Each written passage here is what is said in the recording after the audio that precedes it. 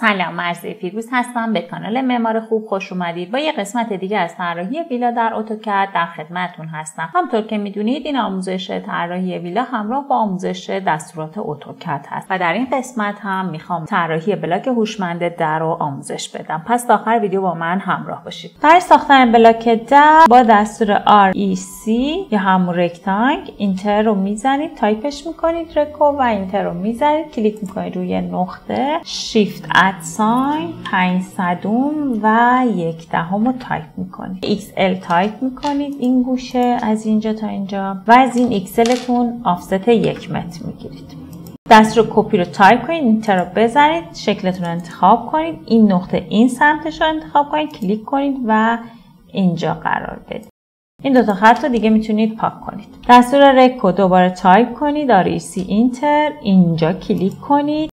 و shift at sign رو نگه دارید. 500 رو تایپ کنید و 9 دهم رو تایپ کنید. enter رو می‌زنم. حالا یه دایره ترسیم می‌کنم. به مرکز دستور C رو تایپ می‌کنم. enter رو می‌زنم. به این مرکز دایرم رو ترسیم می‌کنم. کلیک می‌کنم اینجا و تا اینجا امتدادش میدم یا تا اینجا فرقی نمی‌کنه. اینو match ش کنید با اینا. من اینا رو چون scale شون یه ذره بزرگ بود scale شون رو تغییر دادم. کنترل یکم بزن.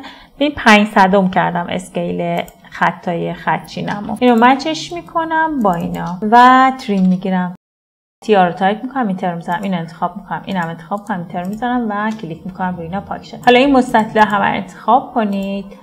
ببرید و در لایه صفر قرار بدید. خب من این در رو ساختم. حالا می‌خوام تبدیلش کنم به یه block هوشمند. اول block ش می‌کنیم و بعد پارامترهای هوشمند رو بهش اضافه می‌کنیم. B رو تایپ می‌کنم enter رو می‌زنم select object رو می‌زنم شکلم رو انتخاب می‌کنم enter می‌زنم.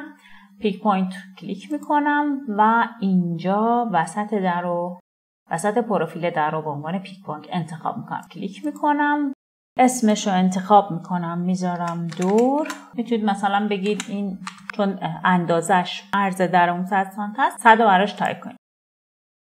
OK بزنید و چون تو لایه یک هستیم این رنگش قرمز میشه.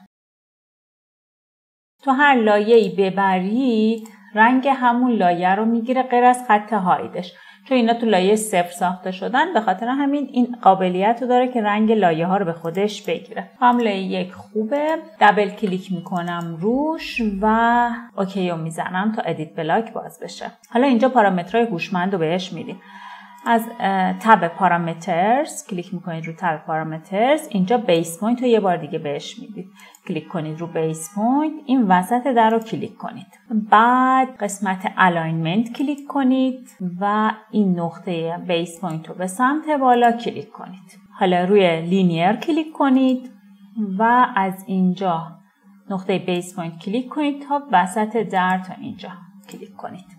distance رو انتخاب کنید کنترل یک رو بزنید و از این نقطه number of grips رو روی یک قرار بدید. escape رو بزنید.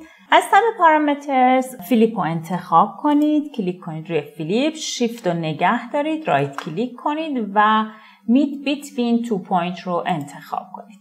کلیک کنید نقطه base point تون و تا این وسط پروفیل بعدی کلیک کنید و این وسط یک کلیک کنید. و حالا دوباره flip رو بیارید اینجا کلیک کنید و قرار بدید. بریم حالا اکشن ها رو براش تعریف کنیم. tab action کلیک می‌کنم.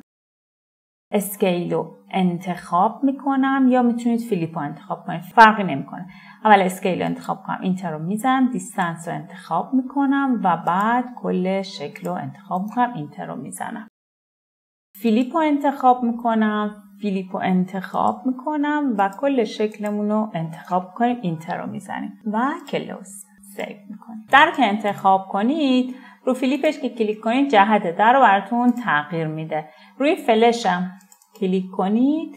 می‌تونید در رو بزرگ یا کوچیک کنید. بریم برای گذاشتن درهای پلان. I رو تایپ می‌کنم enter رو می‌زنم و این صفحه برای من باز میشه. از قسمت recent دری که ساختیم و اینجا بهمون نشون داده. اولین آیکونه. اینجا لایه‌تون رو یک قرار بدید. چون می‌خوایم درها تو لایه یک باشن. از این قسمت این تیکا رو داشته باشین. یکی repeat باشه یکی هم scale باشه. و بعد روی آیکون دری که ساختین اگه کلیک کنید اینجا روی وسط این خطتون کلیک می‌کنید و استرچ می‌کنید تا اینجا کلیک می‌کنید. به راحتی در براتون می‌ذاره. اینجا هم همینطور تا اینجا. طبقه بالا. کلیک کنید اینجا تا اینجا.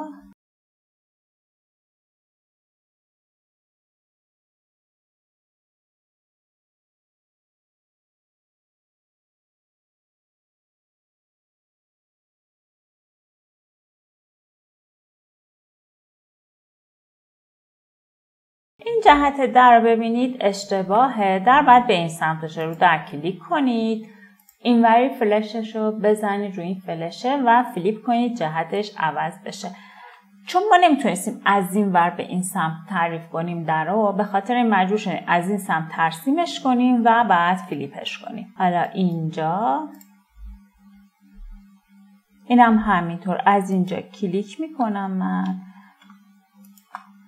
اینجا. و بعد flip می‌کنیم جهت در رو عوض می‌کنیم. برای اینجا می‌تونید در کشویی در نظر بگیرید که قشنگترم هستش. برای ترسیم در کشویی اینجا من از این دیوار یه offset می‌گیرم به اندازه یک متر. O رو تایپ می‌کنم enter رو می‌زنم یک رو تایپ می‌کنم enter رو می‌زنم تا اینجا میشه. از این خط یه offset دیگه می‌گیرم به اندازه 90 تا 9 دهم رو تایپ می‌کنم و enter رو می‌زنم. تا اینجا میشه. S رو تایپ می‌کنم enter رو می‌زنم اینو انتخاب می‌کنم از اینجا تا اینجا. enter رو می‌زنم این نقطه‌ش رو stretch می‌کنم تا اینجا میارم. و یه بار دیگه دستور stretch رو اجرا می‌کنم. S و تایپ می‌کنم enter رو می‌زنم. drag می‌کنم اینجا تا اینجا enter رو می‌زنم. این خط نباید انتخاب بشه. کلیک می‌کنم اینجا و تا اینجا میارم. کلیک می‌کنم. حالا این دوتا خط رو erase می‌کنم و پاک می‌کنم. این دیوار باید یکم ضخیم تر بشه چون ما داخل این دیوار قراره در کشویمون داخل دیوار بره. S و تایپ می‌کنم enter رو می‌زنم و از اینجا drag می‌کنم تا اینجا drag تا وسط این خط drag می‌کنم و کلیک می‌کنم و Enter رو می‌زنم. حالا این نقطه رو انتخاب می‌کنم به اندازه یک دهم.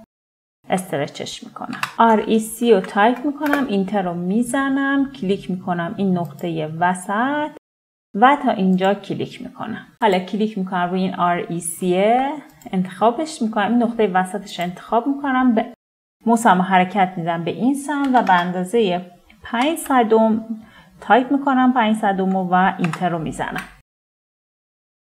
این محدوده حفره داخل دیوار میشه. که در اینجا قرار می‌گیره. می‌تونید اینو جابجاش کنید و بیاریدش وسط دیوار قرار بدین. ازش یک کپی بگیرید بیارید اینجا قرار بدید. از این سمت stretch ش کنید و به اندازه 10 سانت طولش رو کوتاه کنید. stretch ش می‌کنم انتخابش می‌کنم کلیک می‌کنم رو این نقطه و یک دهم تایپ می‌کنم میارم وسط. دوباره stretch ش می‌کنم. کلش رو از اینجا انتخاب می‌کنم. دو تا خط انتخاب نشه. وسط خطا و کلیک می‌کنم. اینجا تا اینجا. move ش می‌کنم. از این نقطه میام و اینجا قرارش میدم. به این صورت ما در و پروفیلش رو ساختیم. می‌تونیم یکم هم جابجاش کنیم هر دوی اینها رو. از این نقطه تا این نقطه جابجاش کنیم که این دقیقا اینجا قرار بگیره. یک هم دیگه هم باید جابجاش کنیم که قشنگ تر بشه. مثلا اینو انتخابش کنیم با دستور موف اینتر رو بزنیم از این نقطه بیایم و به اندازه یک دهم جا بجاش کنیم که جهتش رو داره نشون میده. یه فلش جهت هم براش بزنیم خوب میشه. می‌تونید با دستور PL این فلش رو بسازید. این اینجا من اندازه یک دهم ترسیم می‌کنم Enter رو می‌زنم ازش یه دهم offset می‌گیرم به این سمت. از اینجا تا اینجا یه خط ترسیم می‌کنم. یه آفست 500 ازش می‌گیرم به این سمت. PL رو تایپ می‌کنم Enter رو می‌زنم کلیک می‌کنم اینجا کلیک اینجا. و در نهایت C رو می‌زنم. اینو پاک می‌کنم. اینم پاک می‌کنم. این فقط جهت نشون بده. یکم stretch ش کنین حالا زیاد مهم نیست چقدر باشه میذاشت این جهت باز شدن در نشون بده. فلشتون بهتره. بره تو لایه 8 Control S بزنید و کارتون رو save کنید. برای طبقه بالا هم باید آکسا رو کپی کنیم. CO رو می‌زنم Enter رو می‌زنم انتخاب می‌کنم آکسامو و از نقطه مشترکشون که اینجا از کلیک می‌کنم و میارم. اینجا قرارش میدم. می‌تونید لایه آکس رو فریز کنید که مزاحم کارتون نباشه. از اینجا لایه ها رو باز می‌کنید رو دکمه فریز بزنید و فقط اینها رو براتون نمایش بده. ممنون که تا انتهای ویدیو با من همراه بودید. لایک و کامنت فراموش نشه. اگر هم اولین بار هست که ویدیویی از این کانال می‌بینید دکمه subscribe رو حتما بزنید کنارش دکمه زنگوله رو بزنید تا به محض اینکه من ویدیو جدید آپلود می‌کنم شما متوجه شین و تشریف بیارین ویدیو جدید رو ببینید. سپاس.